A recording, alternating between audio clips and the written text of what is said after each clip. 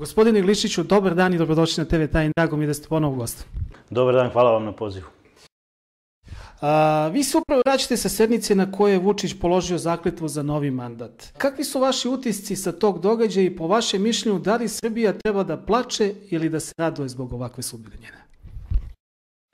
Mislim da ono što se dešava u Skupštini Srbije je toliko u ovom trenutku nevažno na, na žalost i na štetu naših institucija, da naše suze ili smeh moraju da budu vezane za to šta se dešava u Ukrajini, šta se dešava u svetu, jer će se to preliti i odlučiti našu sudbinu.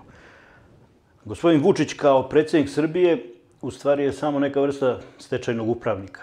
On varira, žonglira između svih tih e, pritisaka i u tom smislu potrebno je da se radi inauguracije, potrebno se na neki način, bar tako poštuju institucije. I ja sam tamo bio, iako opozicijni predstavnik, bio sam pre svega što poštujem instituciju predsednika Srbije. Iako sam monarhista, smatram da u ovom trenutku dok je ustav ovakav kakav je važeći, da treba poštovati tu instituciju i zbog toga sam tamo bio. Realno, bilo mi je teško da se suzdržim, da ne aplaudiram na neke delove njegovih političkih izjava u toku govora, koje se slažu sa onim što ja podržavam u spoljnoj politici. To je odnos prema Kosovu i Metohiji u smislu da nikad od toga nećemo odustati. To je podsjećanje na NATO agresiju 1999. To je priča o potrebi natalitetske obnove Srbije. To su sve stvari koje su neka vrsta opšte kulture političke svih nas koji se bavimo politikom i tu u tom trenutku je nekako degutantno da ne date podršku takvoj jednoj ideji. Međutim, u drugim situacijama kada se jednostavno izražavala ona velika ljubav njegovih poslanika prema svom partijskom lideru, tu sam samo stajao i odslušao sve to jednostavno. Na neki način sam hteo pašanjem, pošaljem poruku da se s tim ne slažem. Ne slažem se samo zato što Nije to problem da je to politička poruka ljudi koji su politički bliski svom predsedniku, koji je ujedno predsednik Srbije. To je problem što taj predsednik Srbije, da bi bio predsednik svih građana, bi morao da napusti svoju partijsku funkciju. Problem je što mi pravimo jednu mastodont stranku koja u suštini kakve god vi izborne uslove da date, ma, makar oni bili idealni, ta stranka će svojim radom na terenu jednostavno besmisliti to, jer će sve druge dovesti u situaciju da ne mogu da se takmiče u bilo kojoj poštenoj izbornoj utakmici. Tako da on kao predsednik jedne masovne, agresivne, sve prisutne stranke je nešto što urušava poziciju njega kao predsednika svih građana. I zbog toga mi je to neprijatno i zbog toga mi je neprijatno i to što se dešavalo u tom parlamentu ove dve godine, u smislu te aklamativne podrške svemu što dolazi iz glave ne predsednika Srbije, nego predsednika Srpske napredne stranke. Jer predsednik Aleksandar Vučić kao predsednik Srbije ne bi bio nikakav problem nama, ako bi, pogotovo ako bi poštao ustav, pa se držao ustavnih ograničenja. Problem je kao predsjednik Srpske napredne stranke. Znači, to je nešto o čemu sam pokušavao svojim kolegama iz opozicije da signaliziram da, bez obzira što smo mi isposlovali najbolje izborne uslove od onih koje smo do sada imali, ti izborni uslovi su mrtvo slovo na papiru ako u praksi vi imate stranku koja jednostavno ima toliko članova kao što je Srpska napredna stranka, ima 750.000 članova, koji bukvalno u kampanji vrše masovni pritisak na birače. Znači, to vam je kao da imate slona u staklarskoj radnji, oni kad dobronamerno pokuša da se okrene, on nešto slomi od institucije. I u tom smislu je nama veliki problem, a to ni jedna od političkih stranaka, ni opozicijonih ne otvara, to je pitanje političkog partijskog modela u Srbiji. Znači, mi moramo menjamo partijski model. Jer vi kad napravite model liderske masovne stranke, on funkcioniše i na 500 članova kao i na 500.000 članova. Vi to morate da promenite. To niko ne otvara kao temu, jedino mi iz Narodne mreže to otvaramo, kolegi iz naprednog kluba, i još neki ljudi iz tog nevladinog e, patriotskog sektora to pokušavaju da kandiduju kao temu. Međutim, za sada političke stranke i patriotskog opozicijnog predeljenja nisu, bile, nisu imale sluha za to, jer na neki način razvlašćuje se njihova pozicija privatnih e, vlasnika stranaka kao svojih firmi. A gde je opozicija danas, ako je uopšte postoji i zbog čega vi niste uzeli učešće na ovim aprilskim izborima? Ja mogu reći da ovo što se desilo sa izbornim rezultatom je nešto kao proces dobro. Pre svega, Srpska napredna stranka je dobila jedan šamar, skoro 200 ili više hiljada glasova je izgubila. Predsednik Srbije Vučić je to izbegao iz prostog razloga što u ovom trenutku, kada su ovakve turbulencije u okruženju našem i u svetu, prirodno je da ljudi glasaju za jakog lidera koji treba da ih sačuva i da obezbedi stabilnost. Međutim, poslali su isti ti birači su poslali poruku Srpskoj naprednoj stranci da im se ne sviđa ona kao stranka i sve što radi, ali na, na kojim osnovama? Ne na osnovu toga što je vezano za korupciju, njihovu sve prisutnu svuda u svakoj pori života, već na nečemu drugom što je nama u ovom trenutku mnogo bitnije, to je na jednom kameleonskom odnosu prema tome da li smo mi za to da se opredelimo za neutralnost, ne samo vojnu, već i političku. Danas je predsednik Srbije rekao da smo mi vojno, ali ne politički neutralni. On to mora da kaže zbog zapadnih pritisaka, ali suštinski vi sa vojnom neutralnošću koja nije politička neutralnost ne možete ništa da uradite. Znači, Srpska napredna stranka je u kampanji igrala tu igru da se ne zna ni dalje za političku neutralnost, ni dalje za Rusiju, ni dalje za Zapad i ostalo. E, I birači su poslali, njihovi birači su poslali poruku da oni hoće nekoga koji je jasnije opredeljen. U tom smislu su nacionalne stranke kao što su Dveri, Zavetnici, DSS, e, gospodina Miloša Jovanovića, ušli u parlament i dobili veliku podršku baš zato što su bili vrlo jasni. Oni su se opredelili za Rusiju, nasuprot Evropske unije, ne baš protiv, ali neki protiv, neki e, mimo Evropske unije. I što je najzanimljivije, Socialistička partija Srbije koja već 10 godina beleži pad svojih birača, odjednom vratila svoje birače na tome što je jasno stala na prorusku poziciju. E, to je dobra poruka, jer to govori o onome kao i ono istraživanje nove srpske političke misli koje je pokazalo nevjerovatnu situaciju da nama većina naroda i protiv NATO-a, i protiv predaje Kosova i Metohije, i protiv Evropske unije posle dugo vremena.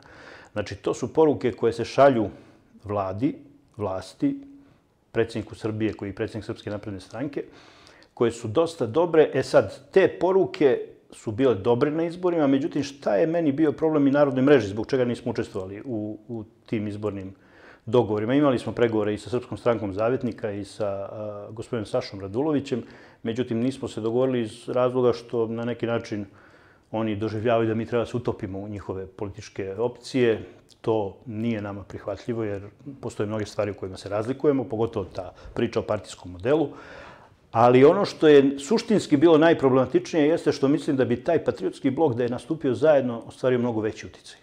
I pokazao nešto što su posle izbora dveri i zavetnici pokazali slug za to i tu ih podržavamo, da je potrebno ujedinjavati taj blok, pogotovo na onoj kampanji koja je vođena protiv promene Ustava u pred izbore, kada se na neki način vodila ustavo-braniteljska kampanja između ovih svih suverenističkih e, opcija, bilo je prirodno da iz toga izađe jedan blok suverenistički koji bi tako nastupio na izborima, to bi bila ozbiljna alternativa ovome što sad radi Srpska napredna stranka. Socijalistička partija Srbije ima svoju infrastrukturu za razliku od svih drugih stranaka koje otprilike negde posle bubanj potoka i nemaju svoje odbore, što je veliki problem. Znači, ne možete da ispratite izborni proces, ne možete pokrijete kutije kvalitetno, ne možete da odbranite izborni rezultat. A, socijalistička partija ima neku infrastrukturu, ona zbog svog položaja od 44. godine, ona na vlasti samo one dve, tri godine dok a, posle 5. oktobra nisu bili na vlasti, oni nisu stranka opozicije i zbog toga nemaju kondiciju da se suprostave na način da kažu mi nećemo da učestvujemo u vlasti, povlačimo se u opoziciju, imamo infrastrukturu koja će se suprostaviti. To je realno nešto što bi bila najveća opasnost Srpskoj naprednoj stranci. Međutim, pošto su svesni da tamo ljudi ne vole opoziciju, pred svega od predsednika Dačića koji predsadeva tom strankom pa svih ostalih, oni računaju da to ipak će nekako u svom zagrljaju držati pod kontrolom. Međutim, pored Socijalističke partije Srbije koja nije spremna za opoziciju, ovde bi se na ovom fonu formirao jedan blok koji je bio ozbiljna alternativa SNS-u i natero bi SNS da se bolje ponaša i u politici, i na lokalu, i na svakom nivou. Nisu se dogovorili e, ljudi iz e, ove četiri opcije, tada je bio tu i gospodin Radulović, e, Dveri, Srpska stranka Zavetnici i DSS gospodina Jovanovića. Nisu se dogovorili, ja imam dovoljno političkog iskustva i stranačkog da znam da recimo ti dogovori da bi se desili moraju da se ispoštuju neke strukture, da se poklope neki interesi. Ostalo imaju neki interesi koje javnost ne razume, ali su potpuno opravdani kad imate stranku. Vi kad imate stranku imate odgovornost prema ljudima koji su s vama godinama. Morate da obezbedite neke njihove pozicije. Ako izdate te ljude, sutra ćete izdati i državni interes. Znači, pošteno je od tih lidera da brane interes svojih ljudi. I onda ako se tu ne dogovore, onda to prokliza. Međutim, postoje trenuci u političkoj borbi i u istoriji kada vi morate zaboraviti na interese svojih ljudi, jer je interes naroda mnogo veći. Znači, nije bilo prihvatljivo da oni ne naprave na, zajednički ustavno-braniteljski blok iza koga bi mi iz Narodne mreže stali. Pošto se to nije desilo, bilo je besmisleno da mi trčimo kao još neka kolona koja će štrbnuti neki glas. Mi smo rekli nećemo ovdje da učestvujemo. Hteli smo da podržimo neke od stranaka, međutim nismo se dogovorili, onda smo rekli vodite vi ljudi svoju borbu kako vodite, bit će još izbora i svega ostalog, tako da nemamo tu problem. Ali mislim da je propuštena šansa da se napravi jedan jak blok, jer da je taj blok nastupio zajednički pitanje, da li bi ovi glasovi otišli SPS-u ili bi došli njima. onda bi to bila mnogo jača koalicija u parlamentu. Ta koalicija bi sad mnogo više uticala na to kakav je odnos prema Zapadu, kakav je odnos prema Rusiji. I mislim da bi postavila stvari koje bi možda čak i predsjedniku Srbije davala jednu stabilniju podršku nego ovo što ima u svojoj stranci. Jer on u svojoj stranci ima svašta. ima i one koji su a, direktno protiv njega iz ličnih razloga, one koji su protiv njega iz a, interesnih razloga, ima one koji su protiv njega iz razloga što su deo neke infrastrukture evroatlantske koja radi za to da Srbija bude još jedna potpuno podređena kolonija evroatlantskih imperija. I u tom smislu meni to malo smeta u profilu našeg predsjednika, kad mislim na predsjednika, mislim našeg predsjednika, kad mislim na predsjednika Srbije, ne, ne mislim na predsjednika Srpske napredne stranke, to što posle svih stvari koje je uspeo u politici, to je on u svom danas inauguracionom govoru negde i provukao. Znači, on je u političkom smislu postigao sve što jedan relativno mlad čovjek može u politici da postigne. Ja mislim da on sad već mora da razmišlja o istorijskom vremenu i o tome šta ostavlja u istoriji. Njegova najveća uloga posle svega ovoga bi bila, ako uspe da zadrži do kraja poziciju koja još uvijek nije narušena, to je da nije potpisao ništa oko Kosova i Metohije, mislim od konačnih rešenja, potpisao je mnogo loših rešenja, ali ako uspe da sačuva da ne potpiše to konačno rešenje, to i nije mali uspeh, i ne uvede sankcije Rusije. Ako to uspe da uradi, on je završio dosta stvari na nacionalnom planu. Ali ako umeđu vremenu ne napravi institucije u Srbiji, koje će umjesto Srpske napredne stranke, koja je konglomerat svega i svačega, napraviti jednu društvenu koheziju koja zajedno brani nacionalne interese, onda će učiniti da njegova pozicija suštinski neće biti jaka i sve to što možda uradi na spoljnom planu može preko noći da nestane. Znači, zamislite samo situaciju da otvore temu kriminala, ovi sa zapada, oni to mogu jer sve prate, da na osnovu kriminala izvrše hapšenje nekih ljudi iz strukture vlasti, pa možda iz samog vrha vlasti, oni će srušiti celu nacionalnu politiku našu. I kako će je srušiti? Srušit će je ne na temi da je to mnogo bila prosrpska i proruska politika, ne, nego je to bila kriminalna politika. To mora se izbegne. Znači, ne možete braniti jake nacionalne pozicije, pogotovo u ovakvim vremenima, sa ljudima koji su korumpirani i koji su podloženi pritisku zbog svojih dosijeja u kriminalu. Znači, to ja mislim da ne shvataju ljudi koji sada vode Srpsku naprednu stranku, pa možda sam, nisam predsjednik Srbije. I mislim da je njegova jedina šansa da pređe preko toga i da podvuče crtu i da više ne pravi paktove sa onima koji su u kriminalu do grla, da bi mogo da pravi paktove sa onima koji hoće Srbiju da brane do kraja, a nisu kriminalno korumpirani, nisu kontaminirani kriminalno. I to je nešto što ako se ne desi, bit će njegova, njegov mek trbuh, ali nije što je njegov mek trbuh. Jedan političar manje više to i nije bitno. Nego problem je što je ličnim režimom koji je napravio svoju sudbinu vezu za sudbinu naših državnih interesa. I u tom smislu je to veliki problem. I sad, s jedne strane, e, ja ne mogu da se e, priključim mnogim mojim prijateljima iz opozicije koji kažu samo on da ode pa će sve biti u redu, jer sam svestan da smo tu igru igrali i pre 20 godina. Tako smo Miloševića sklanjali, Milošević je imao puno razloga zbog kojih ga je trebalo skloniti, ali shvatili smo da Zapad nije tuko Srbiju zbog Miloševića, nego je Miloševića koristio da bi tuko Srbiju. E sad nam ne treba da nam se to ponovi sa Vučićem i njegovim režimom. Znači, bez obzira koliko vidim i ne podržavam to što radi Srpska napredna stranka, Mislim da ne smemo da se igramo revolucionarnih promjena dok ne nađemo dovoljno dobru alternativu. Mislili smo mi, Narodne mreže, da je ustavobraniteljski koalicija bila početak te dobre alternative. To se nije desilo iz raznih razloga. Kažem, mogu da razumem kolege iz tih stranaka koji su branili svoj stranački interes, ali mislim da je krajnje vreme da pređu preko toga i ove neka povezivanja između dveri i zavetnika je dobar put ka tome. Nadam se da će se to proširiti, jer to je jedini način da se napravi neka ozbiljna alternativa da bi mogla se menja ovaj režim. Jer ako nemamo ozbiljne alternative, iskreno da vam kažem, ja nisam spreman da glasam za Mariniku Tepić protiv Aleksandra Vučića. I to sam svuda otvoreno govorio, bez obzira što ja, gospodinu Mariniku Tepić, poštujem kao neko ko ima hrabrosti da otvori teme kriminala i svega ostalog, ali u nacionalnom smislu... Po ideološki se razliku uopšte. To čak nije pitanje, da, ideološke razlike, jer gledajte, sad upravo čitam jednu sjajnu knjigu od gospodina Nemanje Devića o partizanskom pokretu u Srbiji od 1941. do 1944. Ista je matrica. Sve vreme komunisti vode borbu tako što ravnogorski pokret opisuju kao razbojnički, koljački i sve ostalo. Nije tačno je da je bilo puno elemenata toga u ravnogorskom pokretu, bilo i u komunističkom pokretu, samo se o tome nije pričalo. I onda vam prodaju priču, mi moramo da razvlastimo te bradate četnike, nacionalisti i ostalo što su kriminalci, a u stvari mi ćemo doći na vlast kao koji nismo kriminalci, a uradit ćemo šta? Razvlastit ćemo Srbiju od njenih pokrajina, od njene budućnosti i svega ostalo. Pa čekajte, to je ono što danas radi gospođa Marinika Tepić. Svaka čast, borit ćemo se protiv kriminala, ali nemojte da nam usput srušite i kuću i da nam na kući postavite hrvatsku zastavu. Mislim, to je cela priča. E, zbog toga je vrlo bitno napraviti alternativu Srpskoj naprednoj stranci, jer su ovi izbori pokazali da njihovi birači su spremni do 300.000 da glasuju za nešto drugo, Iako podržavaju gospodina Vučića, ali neće da podržavaju sve što je ta politika i levo i desno i danas sam za zapad, danas, sutra sam za Rusiju. Ne, oni hoće opredeljenje. Znači, nije to malo. To je ozbiljan potencijal koji može da se desi i potencijal koji sutra može ta dva miliona ljudi koji su glasali i više za gospodina Vučića da prevuče na našu stranu i da napravi tranziciju vlasti koja neće srušiti državu. A, Ajde, kad smo već na temi te N1 opozicije, kako tumačite sastanak između Vučića i Đilasa neposredno posle izbora? Moj stav je bio da ti sastanci su trebali da se dešavaju ranije. Znači, mislim da kada imate ovakvu situaciju gde ste ozbiljno ugroženi sa svih strana, mi e, se ponašamo kao da smo Novi Zeland, da su svi oko nas hiljadu kilometara daleko i da mi rešavamo svoje probleme ovde, a ne shvatamo da mi oko sebe imamo narode koji su najmanju ruku ne, nisu bili prijateljski naklonjeni prema nama. I danas nisu. I da smo u okruženju NATO država i NATO formacija. Tako da u tom smislu, kad tako pogledate, ne treba nikome da razvija atmosferu građanskog rata u društvu.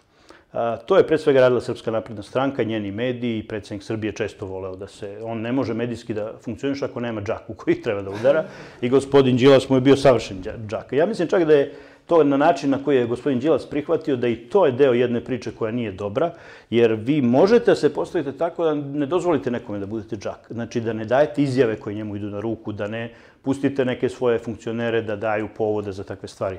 Međutim, sa ove strane je uvek išlo tako da se da povod, da onda ov, gospodin Vučić ima džaku koji će udarati. I to zajedno, kad pogledate, je loše za atmosferu u kojoj mi živimo. Naša atmosfera mora da bude da mi moramo da pravimo konsenzus u društvu. Ako ćete da pravite konsenzus, onda prva stvar koju treba da kažete, a ta stvar treba da se kaže, da su gospodin Đilas i gospodin Vučić imali zajedničke poslove pred deseta godina. Znači, ako ste vi, gospodo, imali zajedničke poslove, pa valjda vi možete sedneti da se dogovorite. Vi treba stalno da se dogovarate. Iako drugčije politički mislite, iako ćete možda sutra na izborima da konkurišete jedan drugome, ali ja, ne, ja pretpostavljam da gospodin Đilas kao čovjek koji je čovjek biznisa, ne sukobljava se sa svakom svojom konkurencijom u biznisu, nego sa njom sedne, pregovara. E sad, napravljena je jedna atmosfera da onaj ko dođe da pregovara sa gospodinom Vučićem je izdajnik opozicije, a ako gospodin Vučić dođe da pregovara sa gospodinom Đilasom, onda je on napušta te velike nacionalne pozicije. Stop, to uopšte nije tačno. Znači, moja pozicija je bila, oni su trebali pre da razgovaraju i trebali su mnogo ranije da razgovaraju, trebalo da se spusti tenzija, ali u suštini morali smo mi svi da znamo o čemu su razgovarali. Jer to je pošten odnos. Znači, da oni razgovaraju, to je u redu. Ali o čemu oni razgovaraju? Uh, ja ne znam šta je gospodin Đilas u svojoj koaliciji uradio, nadam se da ih je pitao za taj, ne bi bilo korektno da dođe na razgovor da ne obavesti svoje ljude u koaliciji, ali to je već njihova stvar. Ali u suštini politička kultura podrazumeva razgovor, dogovore, dijaloge, pregovore, pa i ako se ne dogovorite, sutra ćete se tući na izborima na jedan civilizovan način, ali ćete opet postoje, morate da sednete da pregovarate. Tako da ja nemam problem sa njihovim sastankom, imam problem sa jednom drugom pričom. A to je da mi nekako pravimo poziciju da postoji jedna vlast koja može i levo i desno i na istok i na zapad, da ta vlast kad je konjunkturno treba da priča o tome kako je spremna da uvodi sankcije Rusiji, da se distancira i da bude prozapadna, a da im onda u, u susret i u podršku dolazi deo opozicije pro-briselske koji kaže da, mi vas u tome podržavamo. E, to mi je problem. I tu mi je problem, tu bi više voleo da ljudi koji su okupljeni oko gospodina Đilasa kažu najzad gde su, na kojim pozicijama. Jesu li oni za uvođenje sankcija Rusiji? I u tom slučaju šta oni podržavaju u Srpskoj naprednoj stranci, jer tamo imate i one koji su proruski i oni koji su antiruski da bi znali da se ne dešava nekako da nam neko prodaje e, rok za sveću, pa da onda kao opozicioni prvak, podržavajući Vučića, odjednom podrži sankcije Rusiji. E, to je ono što je meni problem. Znači, nije im problem njihov susret, nije im problem njihov profil. Znači, ja sam vrlo e, odmeravao reči kada sam se obraćao predsjedniku Srbije Vučiću i ja, inače sa njim sam imao svakakve u, u političkoj borbi i sukobe i susrete i neprijatne i ne, nepristojne u smislu reči koje smo jedan drugom uputili, ali u javnom prostoru mi moramo pristojno da se ponašamo.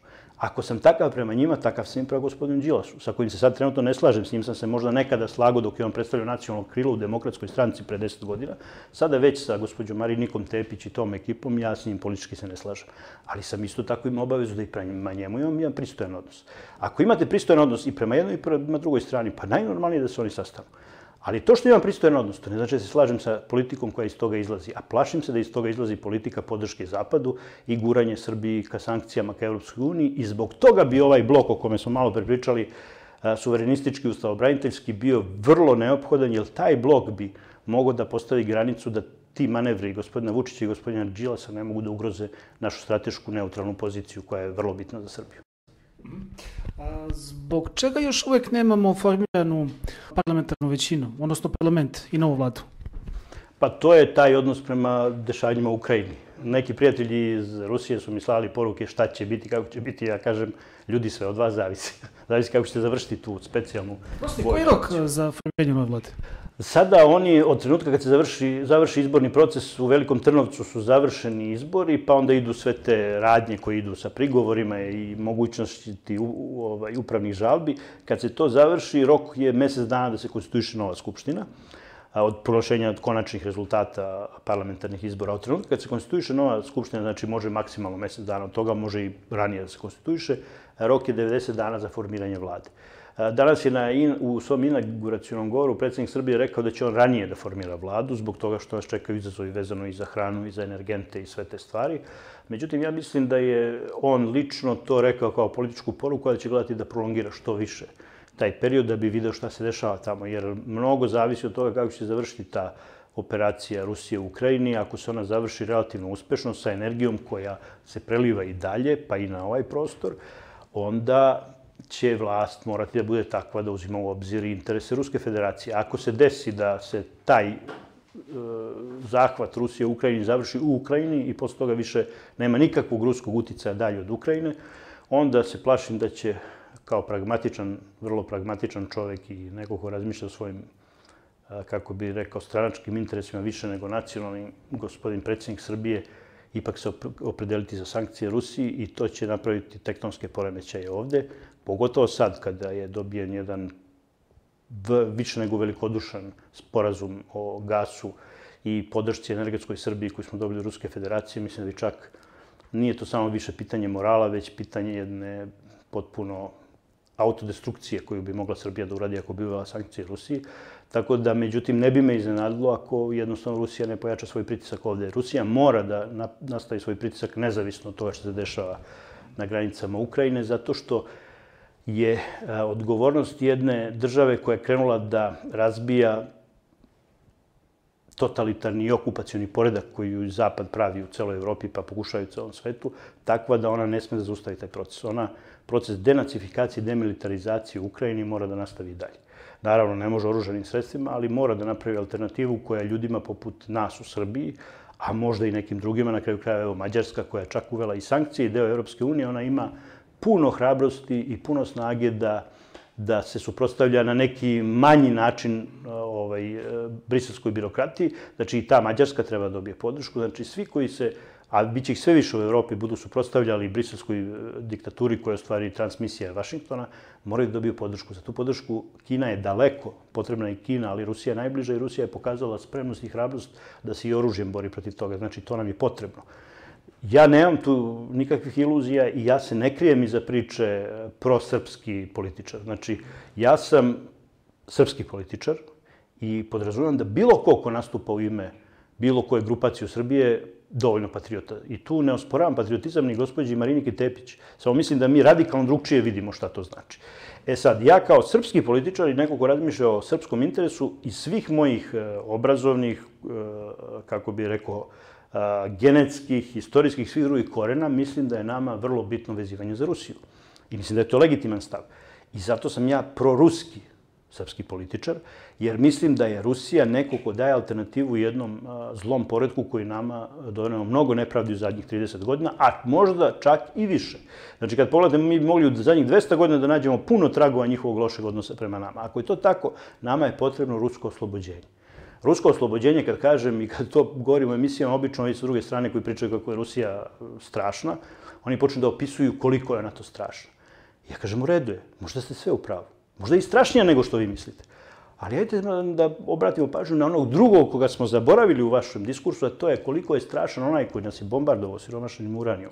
Onaj koji uvodi uh, gender agendu u svim društvima gde dolazi. Onaj ko pljačka sve narode i sve uh, slojeve siromašne u svetu, koji dove do najvećih socijalnih razlika koje nikad nisu postojale pre toga. Onaj ko ekološki upropasti ovu planetu, jer misli samo o profitu svojih korporacija. Pa ćemo da shvatimo da koliko god bili ružni Rusi, oni su majke mare u odnosu na to. E, to je poštena priča. E, to je priča zbog čega ja kao srpski političar mogu pošteno da kažem civilizacijski ono što nudi Rusija – kao odgovor na Zapad, ono što rudi Kina kao odgovor na Zapad, Indija, Brazil, sve te zemlje koje nisu prihvatile da uvode sankcije Rusiji, to je humanistički odnos prema jednom antihumanom a, zahvatu koji dolazi sa političkog zapada. E, kad tako postavite stvari, onda je vrlo jednostavno. Ja možda nisam u pravu, ali svi mi koji nastupamo, mi koji nastupamo sa pozicija srpskih, mi kažemo naš nacionalni, ljudski, humanistički, moralni, bogočovečanski interes je da se zalažemo za ruski uticaj ovde, sa svešću da on nije idealan, ali je dobar protiv otrova ovom zlu koje dolazi sa zapada.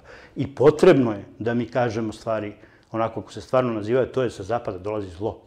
Civilizacijsko, antihumanističko, zlo u mnogim aspektima, u odnosima prema deci, u odnosima prema uh, zla, zdravlju, uh, manipulacija epidemija, manipulacija manif, uh, informacijama, manipulacija, seksualnim odnosima u porodici do tog nivoa da će njima incest i pedofilija uskoro biti prihvatljiva stvar. Znači, o čemu mi pričamo? Tamo ne postoji ništa što je vredno ljudskih odnosa, tamo postoji samo destrukcija. Ako je to tako, pa znate šta je, nama realno, ruska specijalna vojna akcija može da dođe kao oslobođenje. Samo je pitanje da li će imati snage da dođe do Srbije. A, kako onda treba pretumačiti, odnosno kako vi tumačite trenutnu poziciju Srbije u globalnom odnosu između Zapada i Rusije, a, kada imamo recimo izjavu Aleksandra Vučića da bi živjeli desetostruko bolje, da smo uveli sankcije Rusiji, dok samo pre neki dan imali smo njihov razgovor telefonom gde su oni utanačili ugovor koji je, mislim, na tri godine gde će imati dosta povoljnu cenu energeneta. Da. Kako onda to pretomačiti? Kako je to gospodin Vučić je u Srpskoj naprednoj stranci naučio, u stvari u Srpskoj radikalnoj stranci da je ponikao, naučio da to što danas u kampanji pričate na ništa vas ne obavezuje sutra kada stanete pred svoje birače. Znači, to je jedan perverzan odnos prema biračima, prema moralu, prema politici, da vi u kampanji možete svašta da kažete o svojim političkim protivnicima, o svojim političkim vizijama, a da sutra kažete, pa to je bilo u kampanji, to, to ništa ne važi. E, kada je preuzeo vlast i kad je poveo Srpsku naprednu stranku, on je sve, celu svoju političku borbu pretvorio u permanentnu kampanju. Nije to samo njegova ideja, to je ideja i izraelskih agencija koje su ga učile kako se vodi permanentna kampanja. I to je nešto što je problematično. Znači, u tom smislu jeste problematično da vi sad kažete za predsjednika Srbije koji bi trebao predstavljati jednu ozbiljnu instituciju, da ne treba slušati šta on priča. znači, ne obraćajte pažnju na to šta on priča, da će za dva dana pričati sasvim suprotno. Ali i to je na neki način ponižavajuće za nas kao narod i za tu instituciju predsjednika Srbije. Međutim, ako to pomogne, da mi nekako preživimo ove pritiske i ostalo, verujte, to ću mi istorija oprostiti. Reći će sutra bio je jedan čudan predsednik koji je pričao ono što vole da čuju birači kad treba da dobije glasove, kad se nađe sa predsednicima Ruske federacije pričao je njima ono što oni žele da čuju, kad se nađe sa predstavnicima Europske unije ono što oni žele da čuju, kad se nađe sa predstavnicima Eh, Amerike ono što oni žele da čuju, kad se nađe sa predstavnicima opozicijnih stranaka, ono što oni žele da čuju, da ne ulazim ja u to, eh, ono nekoliko suseta koje sam imao sa njim kada sam imao osjećaj da sedim sa čovekom koji je šampion patriotizma, rusofilije i svega ostalo, od toga koje piće pije do toga kako se odnosi u razgovoru s nama. Znači, on je čovek, šta vama treba, on će to da bude. I to u jednom, kako bi rekao, normalnom ljudskom životu je problematično. to je onda liči na neku vrstu prevare. Međutim, u politici, ako to postigne rezultat, da mi prođemo sve ove pritiske i da u istoriju uđe da smo bili jedina zemlja u Evropi koja nije uvela sankcije Ruskoj federaciji kad je krenula ta uh, antiruska horda na istok, verujte mi, to ćemo istorija oprostiti i on će na osnovu toga imati dosta dosta dobrih poena. Bez obzira što nije tačna stvar da bi mi 10 puta bolje živjeli. Prvo, prosto je nevjerovatno da nama neka braba sa zapada dolazi i kaže uvedite sankcije Rusiji i onda ćemo lakše da vam uzmemo Kosovo i baš nas briga šta će s vama biti u tom podrumu gde ćemo vas gurnuti. To je pozicija da vam neko kaže, slušajte, vi treba da se pristupite nama, mi ćemo vas gurnuti u podrum zaboraviti na vas i možda ćete umreti od gladi, a ako ostanete tamo gde ste, to je na poziciji da nećete s nama se pridružiti, mi ćemo vas onda streljati. Svaki normalan domaćin čovjek je rekao, pa streljaj me, brate, kao čoveka, nemoj da me daviš u podrumu. A nama Zapad nudi da budemo udavljeni u podrumu, jer šta znači? Ako uvedemo sankcije Rusiji, mi gubimo sve naše nacionalne pozicije po pitanju Republike Srpske i Kosova i Metohije. Ali u ekonomskom smislu mi prestajemo da budemo ekonomski bitni za bilo koju njihovu firmu, jer nemamo gas koji njima pomaže da budu konkurentni na tržištu. I u isto vreme postajemo neko ko više nema nikakvu podršku, ni Rusije, ni Kine, i ostao već jednostavno jedan od onih koji je, kako obično naši kažu nekad vezano za drugi svjetski rat, 44. otišu u Četnike. Znači, potpuno besmislena pozicija. A to što oni tako besmisleno nama dolaze, to govori o bezobrazluku i nepoštovanju nas. Onaj ko s takvom pozicijom dođe nama, Naravno, zbog toga ja ne predstavljam vlast, jer da ja predstavljam vlast, ja bi ga oterao u tri lepe materine. I rekao bi mu na svim jezicima ovog sveta da mi se više ne obraća i da ga obezbeđenje izbaci iz, iz ova, instituciju koju je ušao. Naravno, zbog toga ja nisam vlast nego pozicija, ali to je realno pravi odnos prema bezobrazluku sa kojim vam neko dolazi da vam to priča. Jer da dođu oni pa da kažu ljudi, Nama je mnogo bitno da vi budete deo fronta protiv Rusije. Evo, daćemo vam mogućnost da pripojite sever Kosova, da pripojite Republiku Srpsku, daćemo vam subvencije za gas koje ćete izgubiti i sve pa da kažete, to je već racionalna ponuda. Ja, recimo, kao čovjek ni to ne bi prihvatio, jer mislim da bi uh, pukotina koja bi se desila u našem identitetu bila mnogo skuplja nego to što bi mi dobili, ali neko drugi bi mogao, recimo ta gospođa Marinka Tepić bi mogla dođe da kaže gospodine Glišiću, vaša politika je iracionalna, mi imamo razloga zašto da stanemo na tu stranu. Međutim, u ovim pozicijama njena politika je iracionalna. Ovo što mi ne dozvoljavamo da budemo deo njihovog fronta, to je najracionalniji odnos koji Srbija može da ima prema, prema Zapadu. Međutim, to što Vučić šalje te poruke, Ja to doživljavam kao i priču danas što je rekao da smo mi politički opredeljeni za evropski put i osto. To je kao one makete koje smo pravili 99. da nas ne bi ovaj, pogodili u pravo mesto, nego da udaraju po tim maketama. Ja to doživljam kao kamuflažu koju mi moramo da šaljemo prema zapadnim uh, predatorima da bi nas ostavili na miru. E, dobro, da li će onda Zapad oprostiti Vučiću ako on ne bude uveo sankcije Rusiji i da li će onda Rusija oprostiti uh, Vučiću ako on uvede sankcije Rusiji? Ovaj sporazum koji se desio gasnije je jedna neverovatna poruka jedne stare diplomatije. Znači diplomatije koja traje vekovima.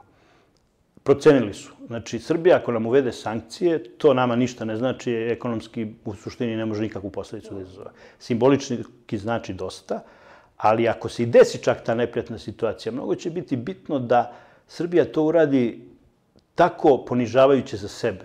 Da nekoga koji je pružio ruku, koji je dao tri godine povoljnog e, aranžmana, koji joj brani pozicije u Savjetu u Evropi, pozicije oko Kosova i Metohije u Savjetu bezbednosti, da toga ujede za ruku.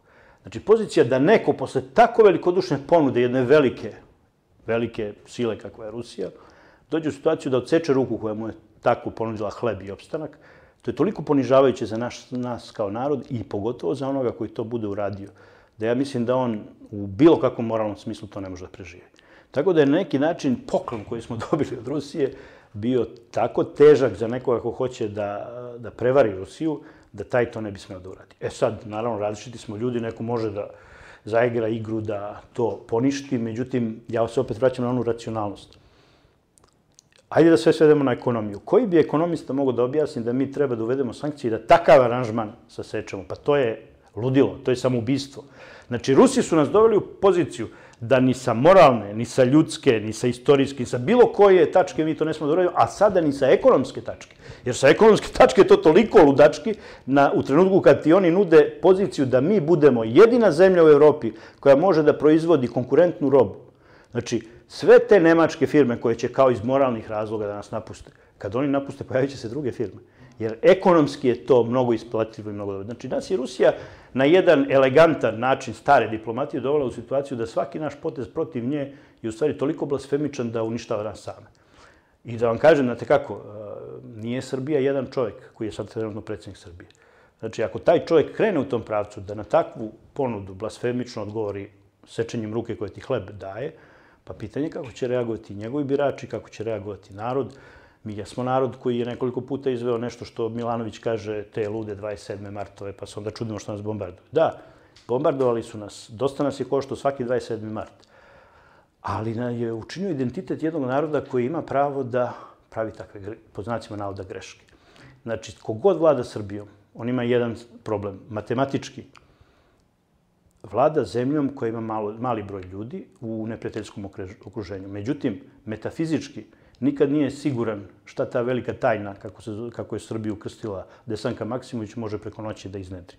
Znači, sve je sjajno, sve si spakovao, sve si, sve si e, matematički proračunao, međutim, jednog dana se desi narod na koga ne možeš da računaš kad se suprostavljaš e, zapadu. Ali kad ti ne treba u trenutku izdaje, može veliki problem da ti napravi. Ja mislim da ova istraživanja koje su se zadnji put desila gospodina Đorđa Vukadinovića, ali je radio i demostat iza toga, jednu analizu koja je malo manja u procentima, ali isto strateški takva. Ta analiza je najbolja poruka predsedniku Srbije i njegovoj vladićoj stranci šta narod misli o celoj toj ujdurmi. Da li smo mi kao narod sposobni da izvedemo neki 27. mart? Ja ne znam. Jesmo mnogo stari, mnogo e, narod koji je mnogo izginuo umeđu vremenu. Ali znate, Zapad više nema ni jednu lepu ponudu za čovečanstvo. Nekad je Zapad imao taj američki san, gde ste verovali samo da se otrgnemo od tih teških istorijskih tema, pa ću da živim lepo, imaću letovanje, imaću provod, imaću jedan fin boemski ili, ne baš boemski, ali lep potrošački život. Danas to više nije tako. Danas čak i taj nivo potrošnje koji hoćete i konformnog života više nemate na zapad, nego imate na istoku. Pa znate kako, i taj umoran narod, koji više nema snage da bije za velike ideale, možda mu je više muka od celog tog e, štapa i šargarepe. Pa možda i čak i taj umoran narod da izađe na ulicu da kaže, e, stvarno mi je dosta. Pa bolje me streljajte kod čoveka, nego da me davite u podrumu onako kako mi je Zapad to predvidao. Ta poruka može prvo da ide vladajućoj strukturi i predsjedniku Srbije. To bude vrlo neprijatno. E, to su razlogi zbog čega ovaj sporazum koji se desio može da dovede u poziciju da možda predsjednik Srbije i njegova stranka više nemaju kuda, nego moraju da drže tu poziciju. A ta pozicija će se menjati i u odnosu na geostrateške pozicije. Jer ne zaboravite, ako Rusija završi ovu specijalnu akciju u Ukrajini na jedan uspešan način, kao što izgleda, ona otvara mnoge teme. Otvara teme, a šta rade evropski narodi i suverenističke stranke koje su bile potpuno obrisane u kaznenoj ekspediciji pre par godina sa zapada, jer su bili malte ne osvojili vlast u Evropi, pa su ih sve obrisali i potisli, zajedno i sa Trumpom u Americi. Tek idu ove jeseni izbori za kongres i za senat u Americi, da će se pokazati šta ta republikanska većina koja je žestoko, Trumpovska ostala, nije smenila Trumpa. Šta će ona da kaže? Onda ide priča šta će reći suverenističke snage u Evropi. Ako Rusija završi ovu akciju tako da nastavi svoj uticaj u Evropi, pa verujte mi, vrlo brzo će oni koji danas nas pritiskaju da uvedemo sankcije postati prošlost. E onda je pitanje šta neko u Srbiji radi i šta on može da odgovori na sve to. Tako da ja mislim, Mnogo imam primetba, primetbi na predsjednika Srbije u raznim nivoima i da ne ulazim u to sve što ljudi kažu o njemu uglavnom je tačno. I ovaj, negativno i po nešto pozitivno.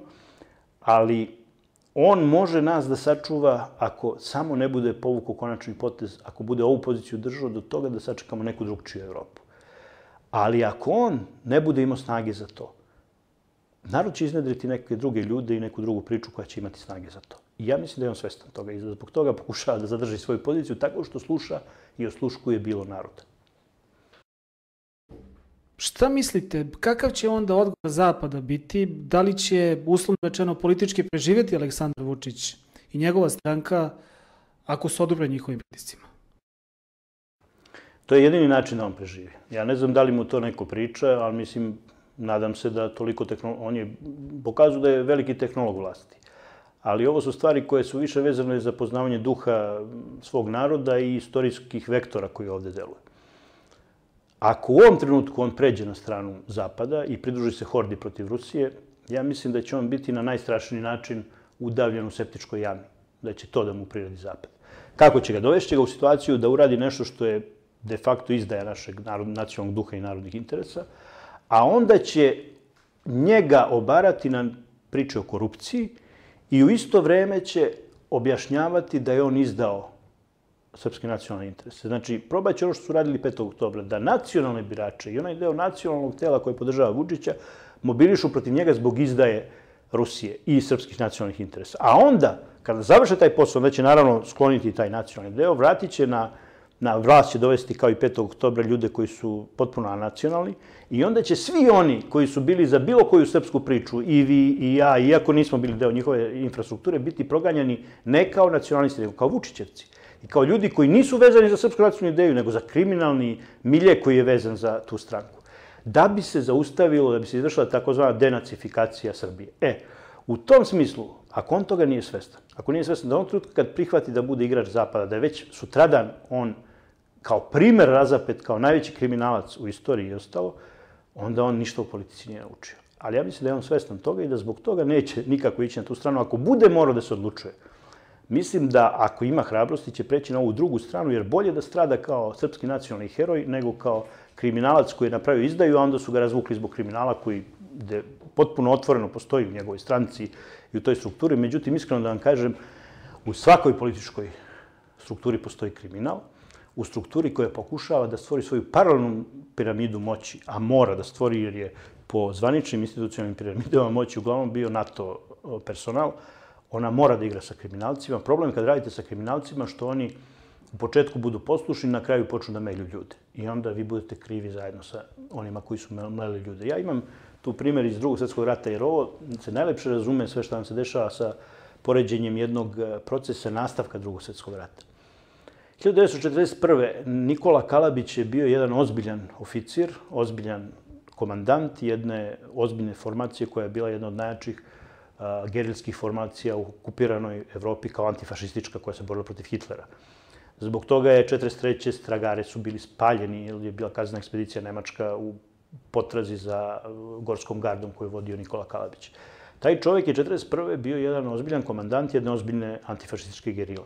Međutim, taj čovjek 44. kad ulazi u Vranić je jedan čovjek koji već četiri godine ratuje, koji je izgubio pojam o ljudskosti, o časti, o svemu tome. Znate, gerilsko ratovanje nije isto kao frontalno, fronta, frontalsko ratovanje. Vi ste u šumi, vi ste na ivici kriminalnih akcija, stalno sa takvim miljeom, stalno proganjani kao zver. 44. on već nije isti čovjek psihološki i on napravi taj strašan zločin u Vraniću.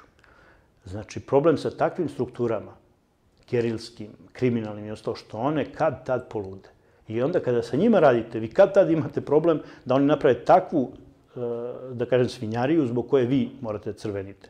Draža Mihajlović nije znao šta je on uradio u Radnjiću u 44. i da je znao, on bi to sprečio. Ali nije mogao da spreči, ali nije mogao da drži komandu na svim tim, on je za to na kraju politički odgovarao. E to je priča i sa tim kad vi kao predsjednik Srbije svestan da vam sve strukture u institucijama drže NATO ljudi, pokušavate napravite paralelnu strukturu da bi napravili vlast koja može da uradi nešto što nije pod kontrolom NATO struktura, ali jedino to možete raditi sa kriminalnim strukturama. Te kriminalne strukture jednog dana počnu da melju ljude. E, za to odgovarate. E sad, ako Aleksandar Vučić bude bio spreman da brani Srbiju do kraja i da zauzme nacionalnu poziciju i da strada kao nacionalni borac u smislu da ne potpisuje ništa oko Kosova, konačno, ovo što je do sad potpisao, ima mnogo brljotina, ali je mnogo bitno da se ne postavi taj konačni potpis da ne uvede sankcije Rusiji u tom konačnom potpisu, da brani Srpsku u konačnom potpisu. Ako to bude spreman, sve će mu istorija oprostiti brljotine koje pravio na drugim nivoima. Jer će ostati u istoriji, kada neko bude jednog dana čito šta se dešavalo u Evropi 21. veka u vreme ruske intervencije u Ukrajini, ostaće jedina zemlja koja nije uvela sankcije Rusije, bila mala Srbija. Ko je bio predsednik te države? Gospodin Aleksandar Vučić. Ako to sačuva, On je sačuvao svoje ime u istoriji, možda čak i svoj opstanak u politici, pa i ako ne u politici, svoj egzistencijalni opstanak njega i njegove porodice. Znači, ja mislim, nadam se da on toliko razume politiku i te dinamike i da će zbog toga ostati na toj poziciji. Ako to ne uradi, otvorit će put u sobstvenu propast. A, šta možemo da očekujemo od najavljene posete Lavrova Beogradu 7. juna? Lavrov je bio u poseti Kini, Indiji, ne znam koje još zemlji, sada i Srbiji. Znači, mi spadamo u 5-6 zemalja sa kojima se, gde se ruski ministar spoljnih poslova pojavljuje. To je također simbolično vrlo bitna poruka. E, mislim da mi to nismo mogli da odbijemo. Mislim, mogli smo, ali to bi značilo kao da uvodimo sankcije Rusiji. Mislim da nas to obeležava kao zemlju koja nije deo Zapadnog fronta protiv Rusije i ja to podržavam. I mislim da je, što se tiče da sam ja na mestu predsjednika Srbije, ja bih samo pratio taj tok.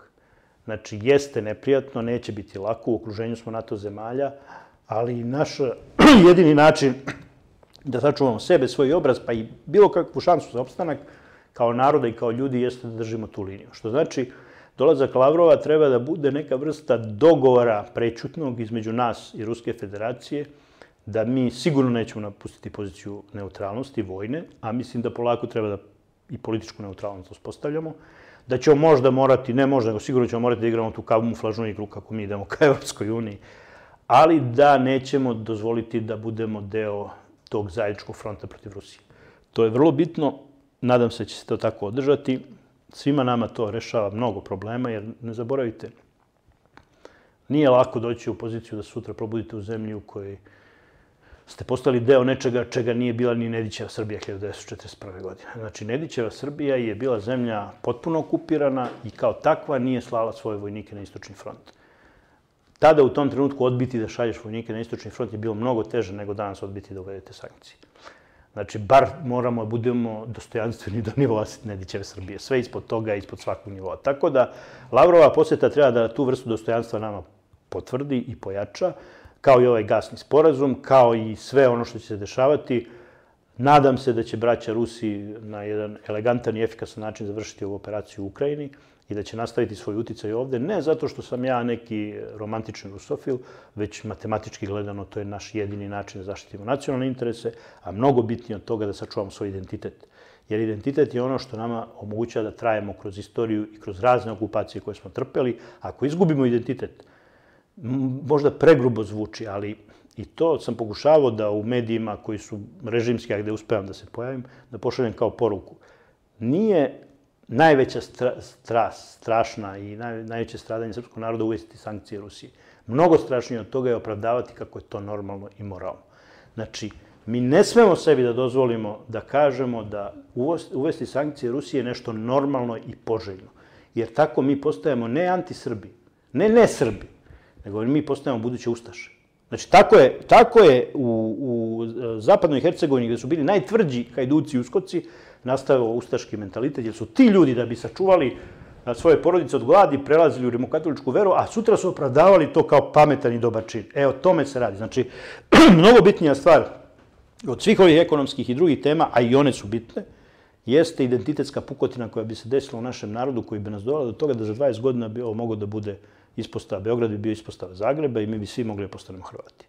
Dobro, kako onda opravdati uvođenje sankcija Belorusiji i vidimo da je Srbija glasala u početku ove intervencije u jedinim nacijama, čini mi se bile su neke dvije ili tri rezolucije isto protiv Ruske federacije. Nema opravdanja ni moralnog, ni ljudskog, nikakvog, pogotovo prema Belorusiji koja je u trenucima najstrašnijeg bombardovanja, znate, 99. godine je Ruska federacija podržala sankcije protiv nas, 92. pa sve ostalo.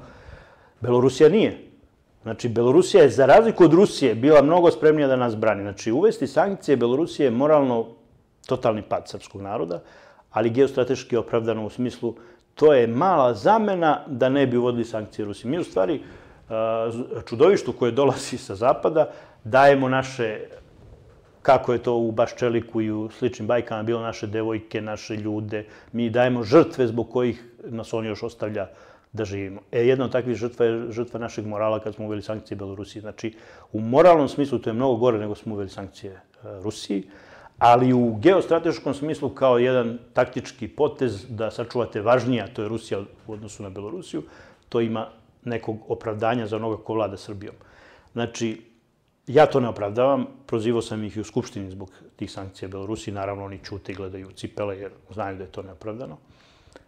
Ali Ako Srbija izdrži da ne uvede sankcije Rusiji, zaboravit i to će nam se oprostiti. I Belorusija će nam to oprostiti, jer su to sve i ona glasanja u Ujedinim nacijama, sve su to manevri ako ne uvedete sankcije Rusiji. To su manevri da izbegneš najveću izdaju koja se zove sankcije Rusiji i onda to može da bude opravdano. Ne daj Bože da uvedemo sankcije Rusiji, sve to postaje deo jednog izdajničkog scenarija koji više niko ne može da opravda.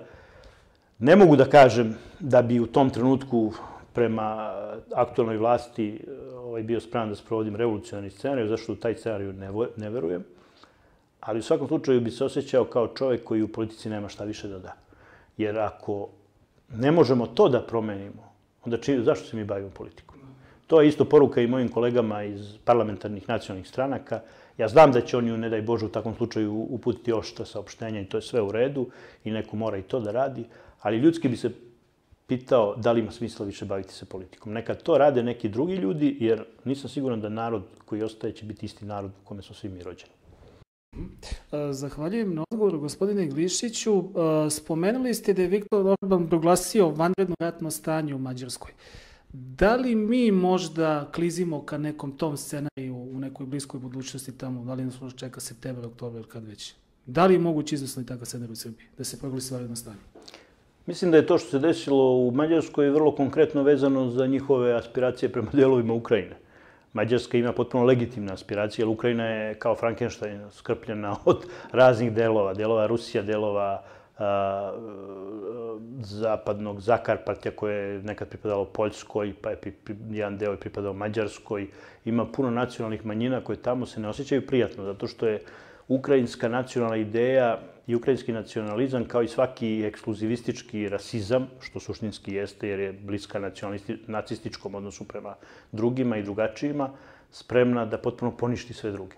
To što je najradikalnija prema Rusima, pravoslavnima i sve ostalo, to je nešto što čime ona kupuje naklonost Zapada. Međutim, ista ta ideja, kad bi uspela da se razgraniči sa Rusijom, prvi sledeći e, njeni, e, prve sledeće žrtve bi bili Mađari, Poljaci, svi oni koji su tu u okruženju, a koji pripadaju njihovom, njihovim nacionalnim aspiracijama. Tako da, ponašanje ukrajinskog nacionalnog pokreta prema drugima koji nisu Rusi, pravoslavni, Sovjeti i sve ostalo, se najbolje vidi u odnosu prema Poljacima u vreme 1942. i 1943. kada je Banderova, Bander, Bandera i njegova, njegova organizacija ukrajinskih nacionalista i ceo taj njihov pokret kada je ta vojska izvršila najstrašnije genocide nad e, Poljacima u zapadnoj Ukrajini, to je u delu koji nije zapadna Ukrajina, Galicija, Volinija i tamo, na tim mestima. Ima jedan sjajan film, Volin se zove, ne znam ko je autor, ali koji na, na, na najupečatljiviji način pokazuje kako su ukrajinski nacionalisti obračunavali sa poljskim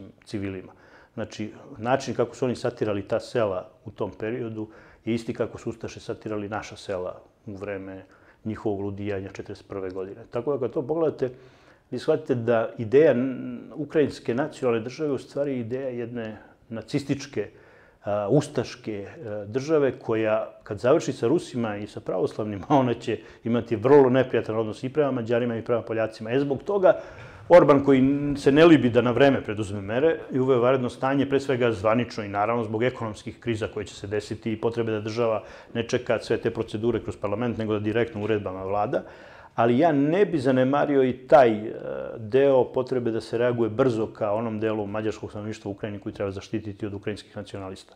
Tako da u tom smislu Orban je samo bez rukavica uradio ono što će svako uraditi. Poljska će to uraditi najvratnije kroz priču o NATO zaštiti tih delova zapadne Ukrajine, a u stvari će uraditi istu stvar koja im nije ništa novo. Oni su 38. uzeli deo Češke, pre nego što je njih raspačao Hitler i, Stalin i to se zna, tada ih je, tada ih je Churchill nazvao hijenama Evrope. To je bilo ime za Poljake pre nego što je na njih krenula nemačka soldateska u periodu 38. kada su zajedno sa Nemcima čerupali Češku. Tako da u svakom slučaju te stvari se dešavaju, Orban se ponaša real politički, ne glumi političku korektnost i da bi to neko mogo da radi, on mora da ima dubinsku podršku institucija kakve on ima u, u Mađarskoj. Fides je došao na vlast tako što je prethodnih deset godina za vreme Đurčanove vlasti i vlasti socijalista pripremao celu strukturu i nevladinog sektora, i think tankova, i svih ljudi koji kad se dođe na vlast ulaze u sistem i menjaju sistem. Zato je tako dobro odrađena podrška koja je dovela do toga da i dan danas oni Orbana ne mogu da smene u Mađarskoj, jer je on celu jednu strukturu i pokret za sobom pokrenuo mađarskih intelektualaca, preduzetnika i svih ljudi koji su promenili strukturu tog društva. E, to je ono što fali ovoj priči sa SNS-om. SNS, umesto da pravi takvu vrstu alternative, on pravi akademije na kojoj se uči glancanje lika i dela njihovog predsednika, umesto da uči ljude koji će biti spremni da svom predsedniku kažu šta ne valja, na jedan oštar i korektan način, i da budu spremni sutra njegovu politiku da podrže kad krenu da ga ruše, mi imamo situaciju da u ovom trenutku, ako neko krene da ruši predsednika Srbije, ja mislim da će najviše saveznika dobiti u njegovoj stranci. Znači, sve to govori o tome da je ova struktura koja je pravljena u Srbiji nije ona koja je pravljena u Mađarskoj. Za razliku od nas, Mađarska je svesna da njoj pozitivna selekcija kadrova u svim segmentima društva u stvari daje podršku za nacionalni program koji u ovom trenutku ličava Orban, sutra će neko drugi. A mi imamo problem što ovde kao da predsednik Srbije i Srpske napredne stranke hoće da samo on bude glavni glumac u filmu, pa po scenu i da filma nema. A poenta je, ne, nije bitno da ti budeš taj koji vodi nacionalnu priču, nego da napraviš tako jaku nacionalnu priču, institucionalnu ukorenjenu, sa mobilizacijom svih ljudi koji se sa tobom i ne slažu, da ta priča i bez tebe može da funkcioniše. E, to je razlika između nas i Mađarske, to je razlika između nas i Rusije, bez obzira što Putin jeste jedan potpuno lični režim, ali svi su svesni i potpuno, pogotovo sad u vreme promena, gde se polako oligarhijska struktura gubi, dolazi jedna druga struktura na vlast u Rusiji, da bi Rusija mogla nađi novog Putina. E, kod nas je problem što mi nemamo novog tako jakog lidera koga bi mogli da kandidujemo posle predsednika Srbije i predsednika Srpske napredne stranke, za razliku od Mađarske koja bi lako mogla da iznedri i nekog novog Orbana. E, to je cela priča. Zato Orban danas može da uvede varedno stanje, a naš predsednik će uvesti varedno stanje kao marketinški potez. A da ga uvede kao ozbiljno varedno stanje koje će značiti spremnost celog naroda da se mobiliše i da bude spreman da se bori za neke ciljeve, Nisam siguran da je to moguće, jer on svojim biračima nije obećavao samo pregor, žrtve i borbu za nacionalno dostojanstvo, nego lagodan život. I to je cela problematika. A, hoćemo kratko da spomenemo možda ove lažne dojave bombama. Kako je vaše mišljenje o tome? Ko, ko bi trebao da stoji za toga? Meni liči to na, na jednu neprijateljsku akciju prema našem društvu i državi, jer ne zaboravite, te akcije u stvari dovode do toga da se mi osjećamo nesigurno. Zašto je potrebno da se Srbija osjeća nesigurno? Da bi rekla idemo u naručje NATO da se osjećam sigurno. Znači, potpuno je jednostavno zašto se to dešava.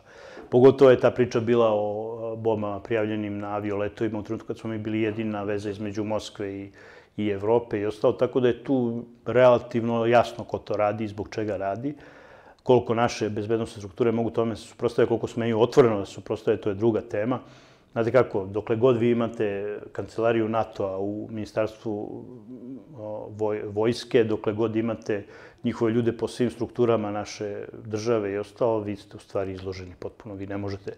Ja, mene ne bi zanadilo da neka ozbiljna policijska akcija, kada bi došlo do toga ko to sve radi iz kog centra, ne bi došlo do nekih službenika naše države koji rade za NATO centre. Tako da to je potpuno jasno šta se dešava, samo to je deo onog, onog šikaniranja i poniženja koji morate trpite kad ste poluokupirana zemlja.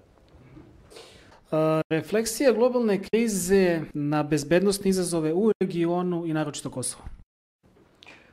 Globalna kriza je takva da sve u svetu je uzdrmano, toliko da naravno i sve naše rane će biti bolnije nego što inače jesu. Što se tiče Kosova, ono nama realno u mirnodopskom razvoju stvari prirodno ide ka Srbiji. Bez obzira koliko to izgleda suviše optimistično rečeno, onaj podatak da je u nekoliko zadnjih meseci 200.000 ljudi sa Kosova tražilo vizu da ode iz te zemlje koja je njihov nacionalni san, po znacima navoda, govori o tome da tamo, pre svega na najozbiljnijem testu koji jedna država predlaže, polaže pred svojim građanima, da je ta lažna država pala. Ona svojim građanima nije obezbedila ništa, ni budućnost, ni ekonomski prosperitet, ni osjećaj da je lepo biti građanin toga što se zove Kosova, da je lepo, ti ljudi ne bi želi da pobegnu glavom bez obzira. Znači, to je jedan propao projekat, samo je nama potreban dovoljno mirnodopski i normalan razvoj da dođemo u poziciju da to što već sad osjećaju građani koji žive dole na Kosovo i Metohiji se valorizuje u tome da je njima mnogo perspektivnije i bolje da budu građani Srbije. Znači, to bi se desilo ako bi se desilo da se normalno stvari razvijaju. Međutim, naravno, u ovako turbulentnim vremenima, kad dođete u situaciju da a, nemački ministri objašnjavaju svojim građanima da je mnogo bolje da se tuširaju hladnom vodom i da manje jedu, onda možete očekivati šta će, recimo, Albin Kurti moći da priča svojim građanima, moći da im kaže nemojte ni da živite, jer je mnogo bitno sad voditi rat protiv Rusije. Znači, ušli smo u jednu zornu iracionalnosti koja nas dovodi u poziciju da sve ono što je bila nemoguća poruka nekada, sad postoje potpuno normalna i prirodna poruka. Zbog toga je opasno to što se dešava u Evropi, pa samim tim može se preliji na Kosovo, jer neko može da pošalje poruku Kurtiju da uopšte nije bitno koliko će Albanaca poginuti, ali oni treba da zauzmu sever na najgrublji način, da izvedu neku novu oluju i da u tom slučaju mi kao narod moramo da reagujemo. i kao država i kao narod moramo da reagujemo, a onda je sve dalje jedna potpuno druga dimenzija. Tako da ova kriza u Ukrajini je toliko izazvala, a, toliko sve slabe tačke u svetu, pa pogotovo u Evropi je prodrmala da uopšte ne možemo znati šta može dalje se dešava. Ono što mi kao narod i kao država moramo da imamo spremni kao odgovor, to je pre svega u glavi svakog od nas koliko smo mi spremni da podnesemo žrtve za to što će se dešavati. Jer nas neće oni pitati da li ti hoćeš da se igraš ratnih igara ili hoćeš mirno da živiš. Ne. Oni nama presuđuju da mi nemamo pravo na miran život i da mi moramo budemo deo tih ratnih igara. Jer ne zaboravite, ako oni krenu oštro prema severu Kosova, ako krenu čišćenje etničko, ako krenu sve ono što su radili Hrvati sa Olujom, da li možemo mi u Šumadiji, mi u Vojvodini, mi u bilo kom delu Srbije da kažemo pa dobro, nije, to je u redu, da šta ćemo, to se dešava i ostalo. Ako nam to urade, mi kao ljudi dolazimo u pitanje da li ćemo sutra moći da branimo svoju porodicu, svoje žene, svoje čerke, svoju decu. Znači, ne možete da okrenete glavu na drugu stranu. Jer mi nismo neko ko je krenuo u neku borbu, pa nije, pa izgubio tu borbu kao što je 90-ih bilo, da smo ipak bili neko koji imao hrabrost da se suprostavi, pa kažu, dobro, tukli smo se pa smo nalupani. Mada i to je isto loše obrazloženje za ono što se desilo kao etničko čišćenje Srba u Republici Srpskoj krajini. Ali u ovom slučaju, kad smo već 20 godina bili spremni na svaku vrstu poniženja da ne bi došlo do takvog scenarija, i kad nam posle toga oni to urade, to znači da jedini dobar Srbin za njih je mrtav Srbin. A mi samo treba da odlučimo, ćemo biti mrtvi ili ćemo da budemo živi. Ako ćemo da budemo živi, moramo da se borimo. Ako se budemo borili, to neće biti u rukavicama. E, to je sad priča koja podrazumeva zbog čega između ostalog ne treba okretati e, glavu ni od Rusije, ni od Kine, ni od bilo koga drugog koji sutra može da nam pomogne, pa i vojno u toj situaciji. Znači, moramo da budemo svesni da je to samo jedan od izazova. Drugi izazov je ono što često pominju, a to je Raška oblast. Treći izazov je položaj Republike Srpske. Znači, imamo puno tačaka gde oni, samo kad osete da smo slabi, ima da nas gaze. Znači, mi moramo da glumimo snagu čak i ako nemamo snagu. Mi sad moramo da stojimo što bi rekli partizani, postojano kao klisurine, da bi sprečili one koji misle da udare na nas da to urade. Jer ako i jednog trenutka osete našu slabost i kolebljivost, raskomadaće nas. E to je vreme u koje smo ušli. Da li možda Evropi preti neki novi ratni sukob s obzirom na pretenzije i Švedske i Finske? Oni su podnali zahteve za priključenje na to paktu. Evropa je pokazala jednu dozu nenormalne iracionalnosti ulaskom u ovu podršku Americi u sukobu protiv Rusije. Ali ovo što se Ukrajini dešava, to nije rat između Ukrajine i Rusije, to je rat između NATO-a i Rusije preko Ukrajine.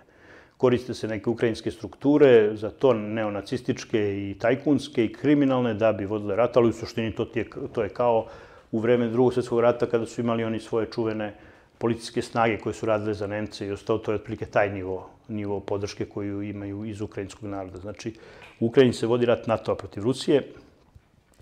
Evropa je, za razliku od onoga što se od nje očekivalo, s tom pričom o racionalnosti, o tolerantnosti, o mirnom rešavanju konflikata, o svemu ono što su nam pričali zadnjih 50 godina i više, odjednom preko noći postala jedna... Koji, oprostite, koji je interes Finske i Švedske sad da uđu na to? Posle 70 godina?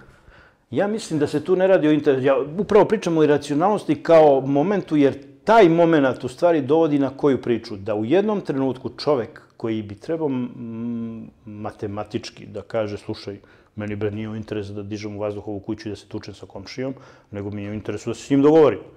Ali ako u njemu proradi neka iracionalna mržnja, e to je vrlo veliko pitanje o tome otkud u Evropi ta anti, e, kažu antiruska, ja mislim mnogo bitnija i mnogo dublja antislovenska mržnja. Otkud taj duboki rasizam tih severno-zapadnih, germanskih, anglo-američkih, anglosaksonskih naroda prema To je jedno odbino pitanje o kome mora da se otvori tema. Ta tema će doći do toga da je recimo proizvod nemačke nacije to što je polovina njih u stvari slovenskog porekla. Da mi imamo vekovima jednu vrstu onaj, onog odnosa koji je, se dešavao nama, Srbima, u odnosu sa Hrvatima. Znači, većina Hrvata su u stvari e, pokatolični Srbi. Paradoksalno je da to, mi opično mislimo da je to Vatikan tek na nama primenjivao. Međutim, izgleda da vekovima se to primenjuje prema Slovenima da vekovima, korak po korak, taj politički zapad, Evropa Karla Velikog, Evropa Rimskog carstva, Evropa tih vikinških a, hordi i već kako se to zove, nor, nordijskih i anglo-saksonskih, kada Amerikanci nisu postojali, da oni vekovima primenjuju isti scenarij. da u stvari od slovenske mase koja je držala ceo taj evroazijski kontinent, oni polako prave konvertite koje ubacuju svoj izmišljeni identitet, a onda ti konvertiti vode surovu, brutalnu i radikalnu borbu protiv ostatka Slovena. Ako bi se to ispostavilo kao tačno, onda bi shvatili da čovečanstvo ima jedan problem sa zapadnom civilizacijom pod znacima navoda, a pitanje je da li je to civilizacija ili je ekces u istoriji, jer kad pogledate to je neki, pa nek bude hiljadu godina. Šta je hiljadu godina u odnosu na kinesku istoriju? Šta je hiljadu godina u odnosu na slovensko trajanje na svim ovim prostorima i na mogućnost da je u stvari vinčanska kultura početak i kraj slovenskog rađanja? Ako je to tako, onda mi nemamo civilizaciju, mi imamo ekces koji smeta čovečanstvu. Zapad je ekces koji smeta čovečanstvu. Ako je to tako, a kakav ekces? Radikalni, rasistički ekces koji svoju e, emanaciju doživljava u nacizmu. I ako je to tako, onda razumete zašto je Švedska i, i, i Finska jedva dočekala da nasuprot svojim interesima, kao i Evropa i Nemačka, nasuprot svojim interesima, iskali tu duboko pota, potuljenu mržnju prema Rusiji kao posljednjem ostatku slobodnog slovenstva. Ako je to tako, mi imamo veliki problem. Onda se borba Rusije za denacifikaciju i demilitarizaciju Ukrajine može završiti tek demilitarizacijom i denacifikacijom Evrope. Što znači da onda ulazimo u problem koji govori o tome da je nama neophodan jedan sukob koji će dovesti do toga da mi najzad se raščistimo sa tim evropskim narodima koji se ponašaju antislovenski. Suštinski, duboko rasistički i na kraju krava i nacistički. Na kraju da vam kažem, ima jedna teorija zanimljiva, da recimo u drugom svetskom ratu tako padanje kao kula od karata svih zapadnih država pred Hitlerom u stvari nije bilo padanje, nego bio način da prikažete kako u stvari se priključujete jednoj sili koja će sve svoje resurse dati da krene u pohod na istok. Ako je to tako, onda je potpuno opravdano i razumljivo zašto u trenutku na istočnom frontu vi nemate samo nacističke SS divizije, imate uh, plavu diviziju iz Španije, imate diviziju iz uh, Francuske, imate norveške divizije, imate sve evropske divizije, SS divizije, znači nisu to neke divizije, kažu mobilisani ljudi došli, nego dobrovoljci, radikalni u svojim idejama, surovi prema civilnom stanovništvu, spremni da idu do totalnog istrebljenja Slovena i Rusa, koji su tada bili jedini Sloveni koji su se brali. Znači, kad tako pogledate, odjedno vam potpuno jedna druga slika Evrope. I onda, ako ne daj Bože je to tačno, Rusija mora da se obračuna sa tom Evropom do kraja i ne samo Rusija, mora i Kina.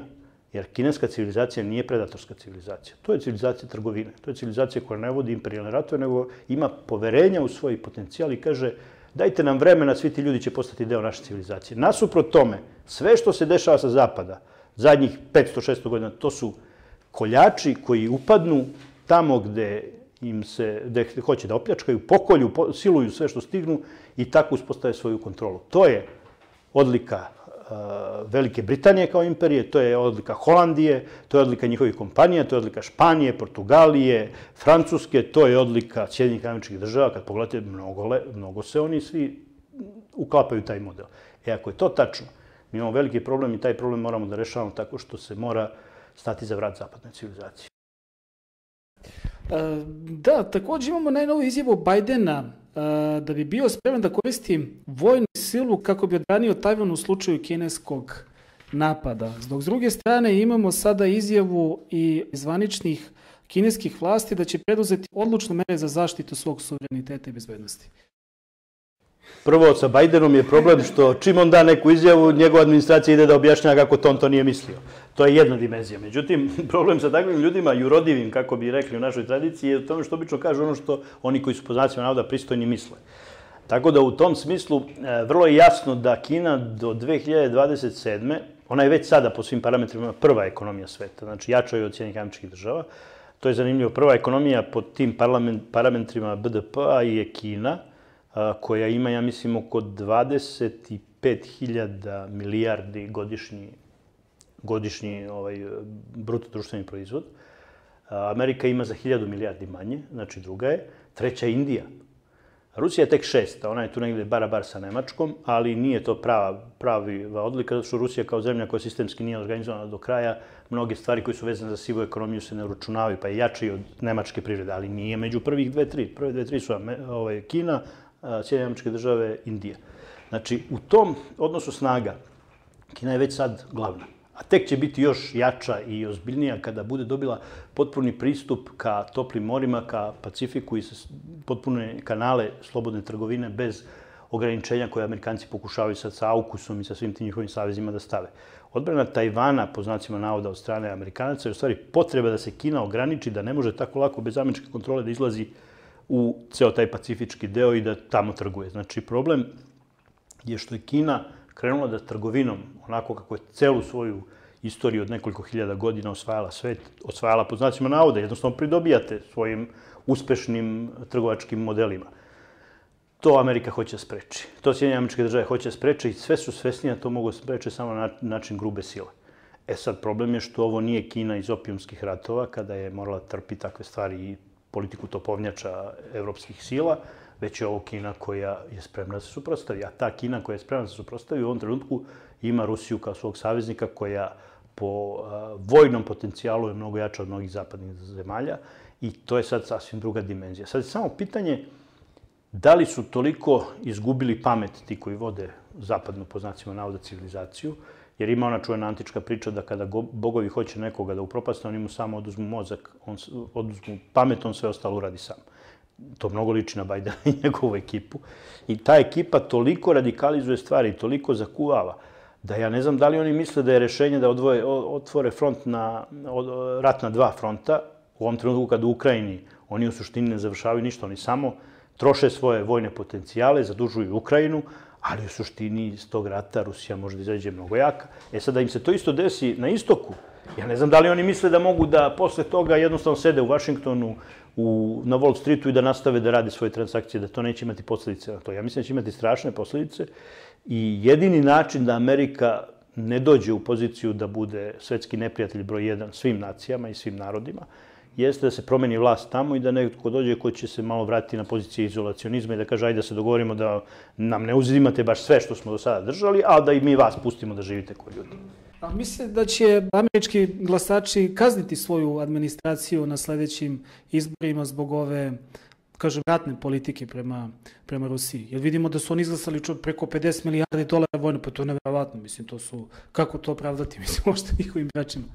Nemam ja neki, neku iluziju o ljudskoj prirodi, pa i o prirodi američkih građana. I oni su sebični kao i svuda. Znači, Vjetnamski rat je obustavljen onog trenutka kada su počeli Amerikanci da osjećaju posledice tog rata. Bilo u sanducima koji su im stizali, bilo u ekonomskim posledicama.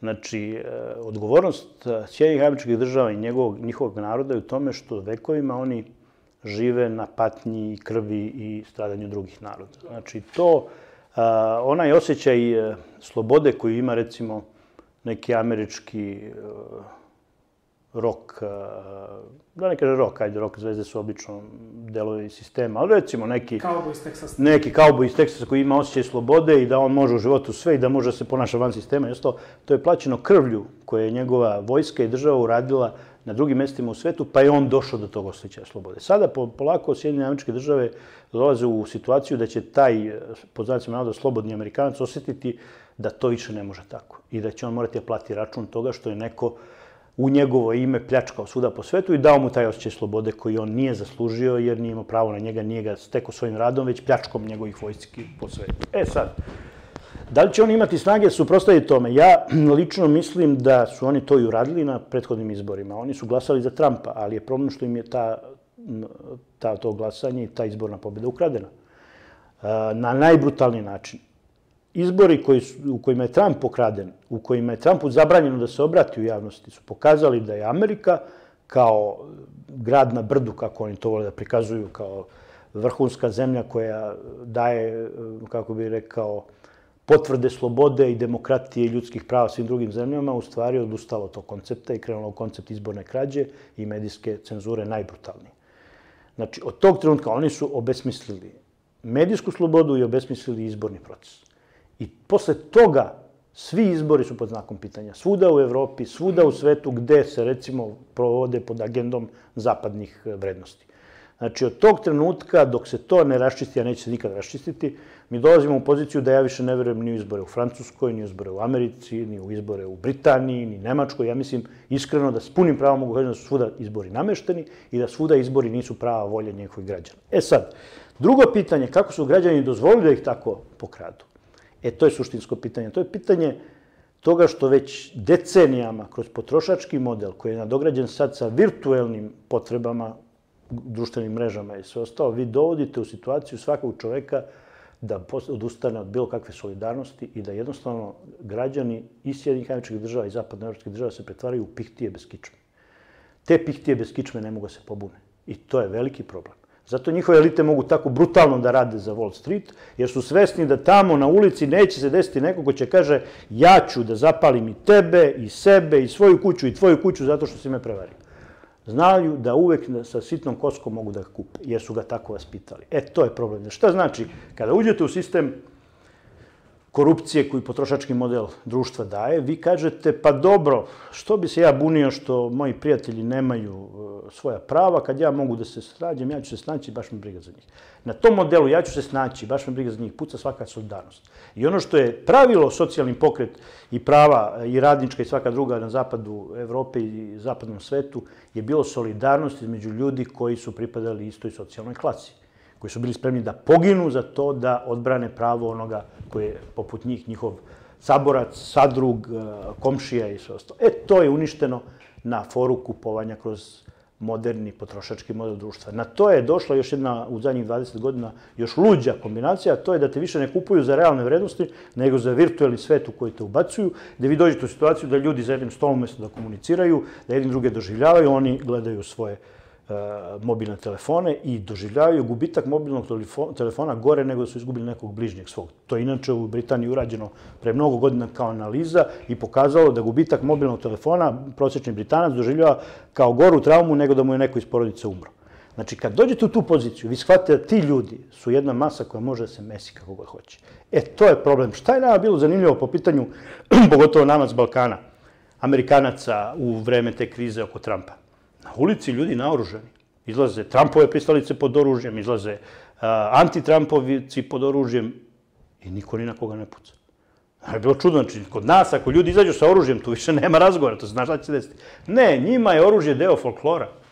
I onda shvatite da ti ljudi u stvari paradiraju. Niko od njih nema hrabrosti da se na pravi način suprostavi. Ono što je njima urađeno sa Trumpom, da mu je pokradeni izbori tako brutalno, da je zabranjeno oglašavanje tako brutalno, u bilo kojoj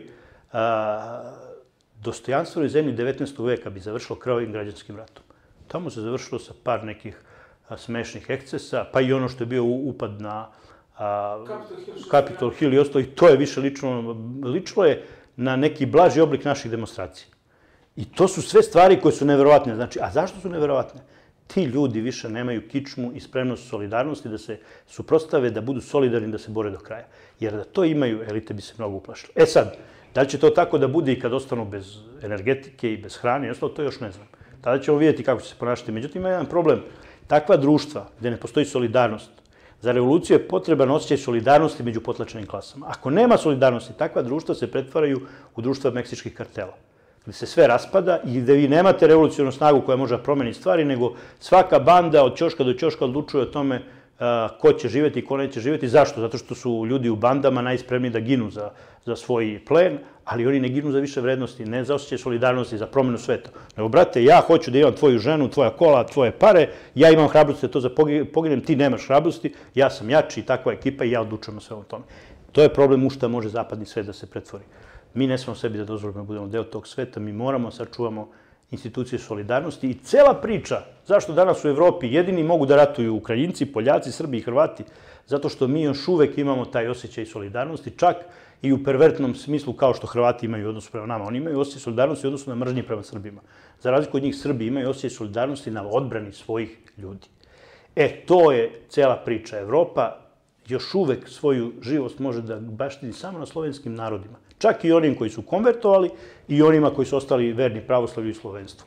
Jer to je još uvek život kivo. Naravno, latinoamerički narodi su spremni da se bore za svoju slobodu, afrički narodi su spremni da se bore za svoju slobodu i to je budućnost čovečanstva.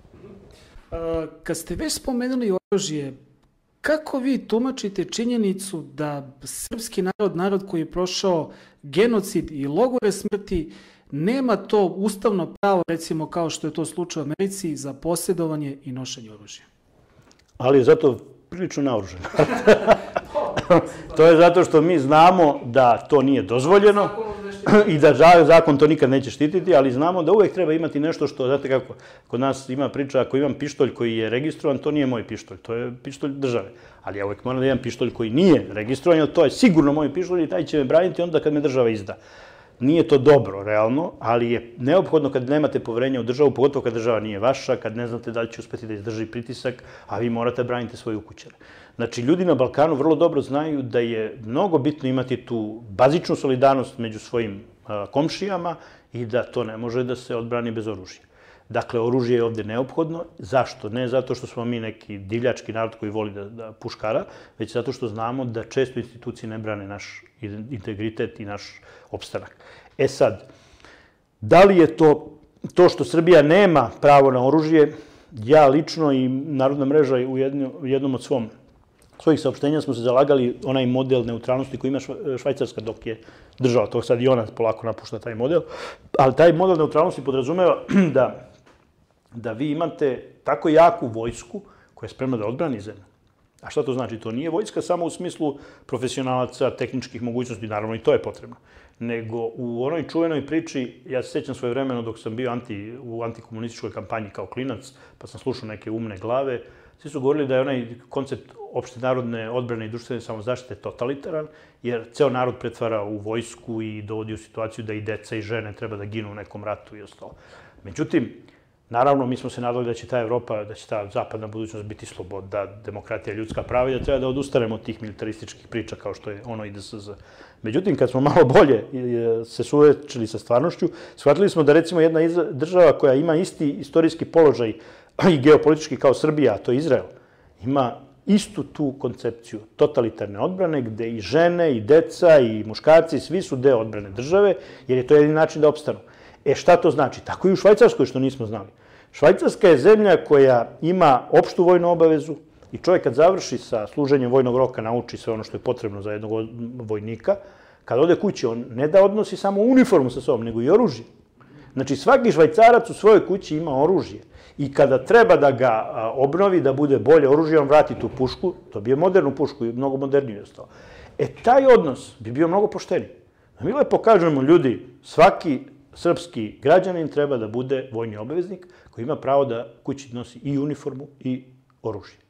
I onda bi mnogo drugčije se razne kriminalne bande ponašale kad bi znale da sutra, kad krene da obija nekome kuću, izađe čovjek sa automatskom puškom i može da izbuši. I što je isto, mislim, potrebno, bez obzira što to malo se ne uklapa u naš koncept slovenskog, kako bih rekao, lagodnog odnosa prema privatnoj svojini, mislim da je poštena priča u Americi da ako vam neko upadne na privatno imanje bez dozvole i bez da imate pravo da upotrebite oružje, jer šta on traži na našem privatnom imanju? Zašto je priča o privatnom posjedu tako bitna za izgradnju e, društva? Zato što privatna imovina u meri u kojoj je privatna, jer ne zaboravite, korporacijska imovina nije privatna, ona se samo slovi kao privatna, ali u stvari je puno abstraktna. Tu imate neke akcionare, imate neke korporacije, imate, tu se uopšte ne zna šta imaju. To je isto kao i društveni kapital, malte ne. Nasuprot tome, privatna imovina običnog čoveka je vrlo konkretna. To je kuća, okućenica, kola, imanje, njiva i ostalo.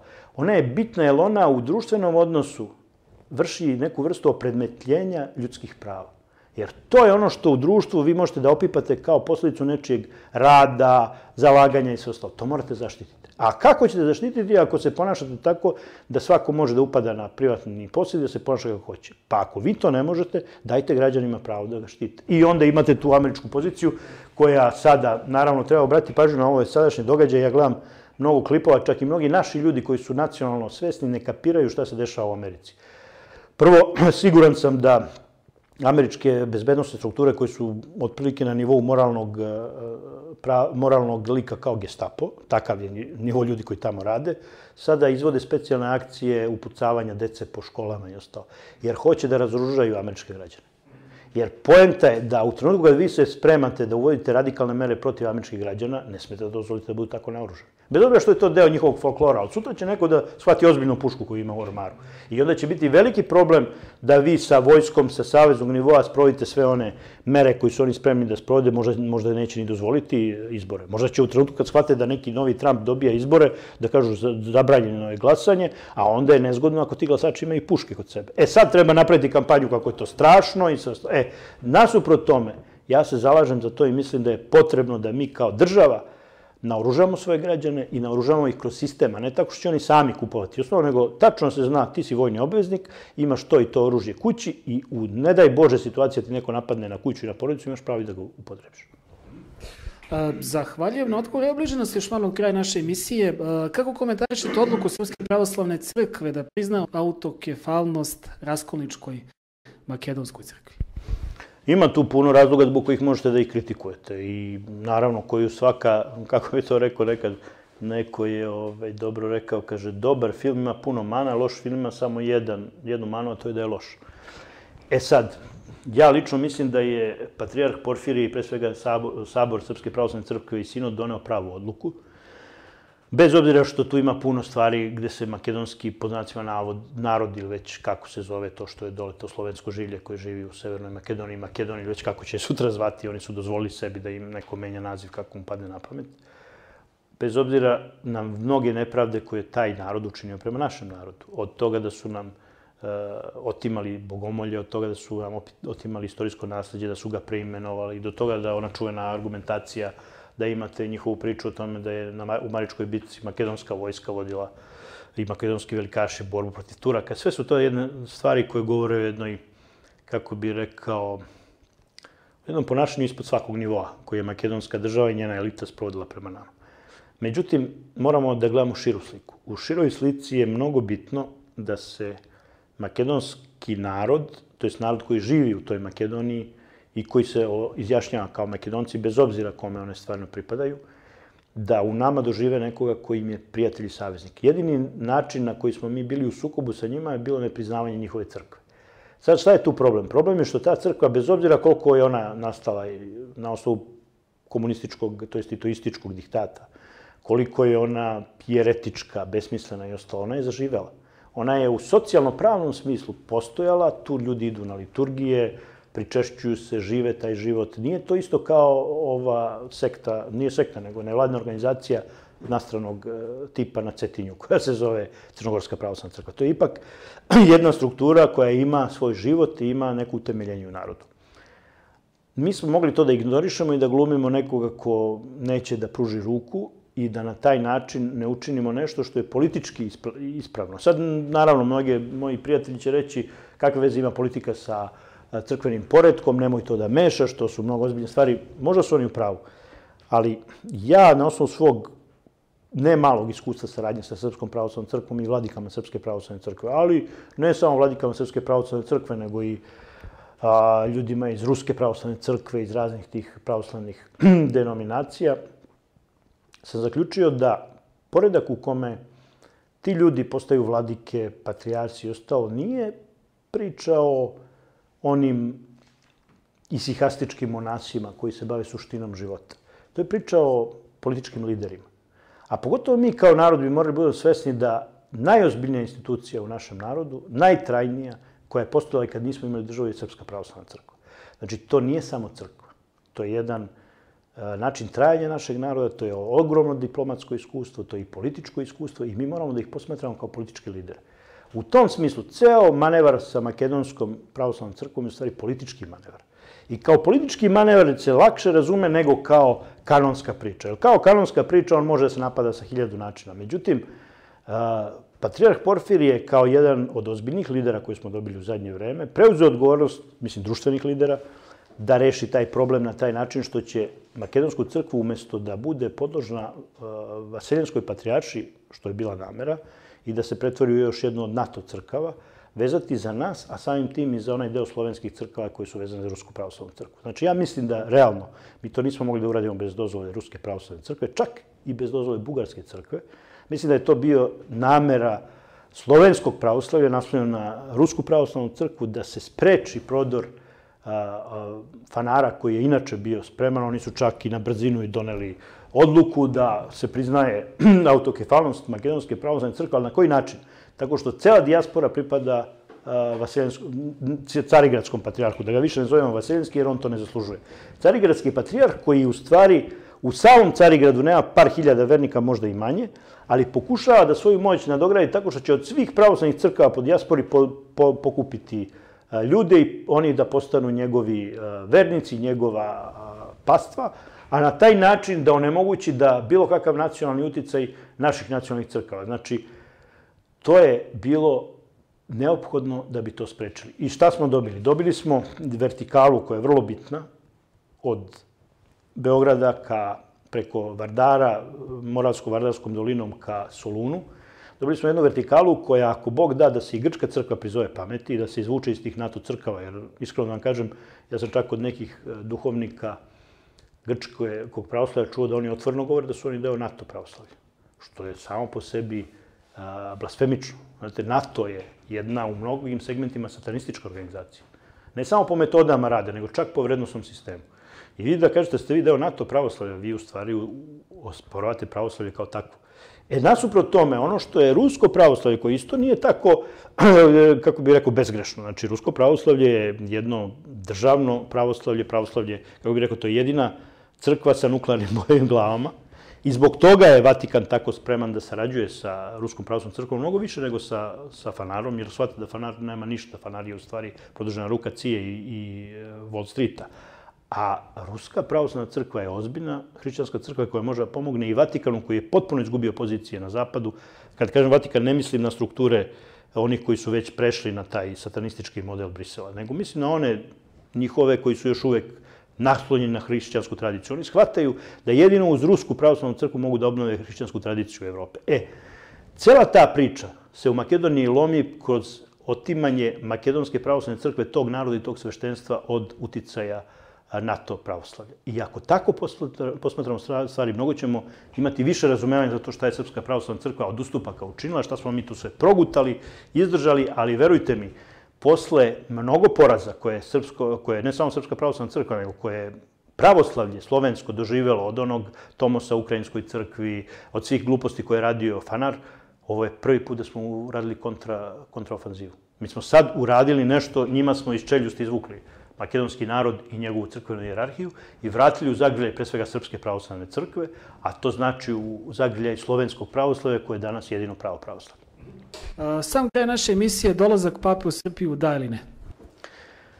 Ja mislim, i mislim da je to moj lični stav, koji nije u skladu s ovim političkim pričama o kojim sam malo prepričao, jeste da put do Srbije mora ide preko Jasenovca. Znači, Jasenovac je neobjašnjivo stratište za koji rimokatolički poglavar mora da ne znam kako da objasni, kojim ljudskim činom da objasni našem narodu i ne samo narodu, nego celom čovečanstvu šta se to tu desilo.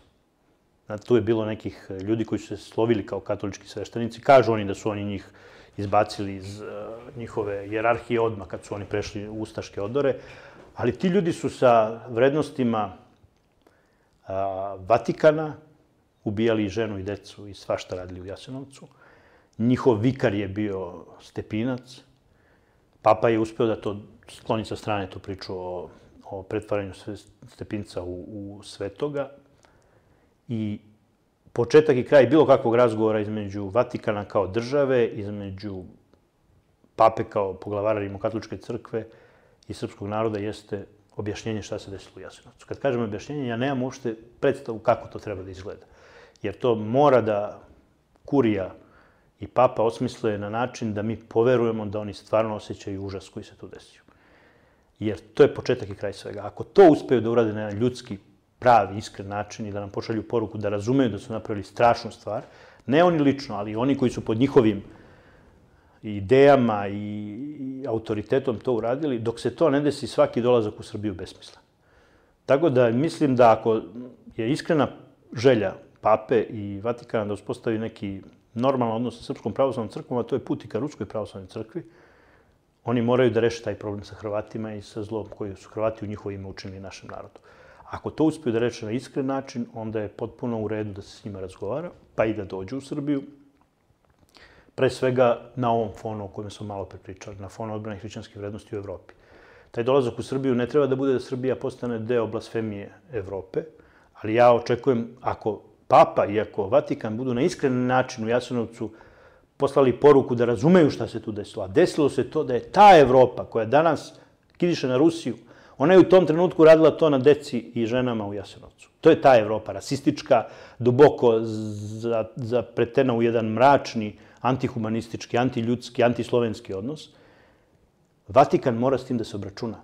Jasenovac je dobro mesto da se tim obračuna i da objasni da kako bi rekli, i e, Urbi je Torbi, da objasni da oni više nisu deo tog projekta. Ako bi to uspeli na iskren način da urade u Jasenovcu, onda je potpuno normalno da dođu u Beograd i da počnemo da pričamo o tome kako branimo prave hrišćanske vrednosti od ludila briselskog koncepta koji je potpuno satanistički. I to na neki način mnogi u, u rimokatoličkoj e, crkvi, ako se to može zvati crkva, osjećaju. Osjećaju, ako to može se posmatra kao ostatak hrišćanskih vrednosti Evrope, oni osjećaju da su oni jednako obrisani u toj priči briselske birokratije kao i mi koji smo pravoslavni. Samo mi pravoslavni smo živi, crkve su nam pune, naoružani smo i spremni da se borimo za hrišćanske vrednosti, oni su već odavno razbijeni tamo njima u sred njihovih tradicionalnih hrišćanskih zemalja kao što je Španija, Italija, a crkve se rimokatoličke prodaju jer nema ko tamo da ide, više njihovi ljudi ne veruju u njih. Poslednje uporište koje se sad već kruni, poslednje uporište Vatikana je bila Latinska Amerika, međutim sad tamo protestantizam divlja, pogotovo u Brazilu i mnogim drugim zemljama. Zemljama protestantizam koji je izuzetno problematičan u mnogim segmentima, ali to je neka dublja i teža tema. Jer ne zaboravite, protestantizam je rodio ovaj ljudožarski kapitalizam. Tako da kad sve to pogledate, oni nemaju izbora. Oni ako ostanu ušančeni u taj zapadni svet, njih neće biti. Mislim, kad kažem neće biti, bit će ta institucija, bit će banka, bit će mafija, bit će obaveštene službe, bit će satanisti u katoličkim odorama. Ali pravi hrišćana tamo neće Možemo biti. da i piglimo naše pravoslavno krivolo, zašto da ne? Da, da se vrati izvorne svoje... Uopšte nije nemoguće da se čak i to desi. Jer papa kao, kao episkop rimski ima potpuno svoje mesto u pravoslavnoj. Nema samo kao poglavar svih e, hrišćana. To nema i to ne može. Ali da zaboravite, mi smo sad doživjeli da sa fanara jedan počinje kao pravoslavni isto tako se ponaša. Tako da u tom smislu taj dolazak pape ima smisla ako ide preko Jasenovca. U Jasenovcu mora bude dubinsko iskreno pokajanje, da mi osetimo da taj čovjek to stvarno to osjeća i da cela ta priča koja ide ka nama to osjeća, jer je to put da mi stvarno nešto uradimo na obnovi hrišćanskih vrednosti u Evropi. Bez toga, to je sve besmisleno. I bez toga može da se odloži to i za narednih 100 godina. Gospodine Glišiću, zahvaljujem se nizno vremena za naše uvažene gledalce na ovako otvornom i sadržanom razgovoru. Želim vam puno uspehu dalje ratu. Hvala i vam. Svako dobro.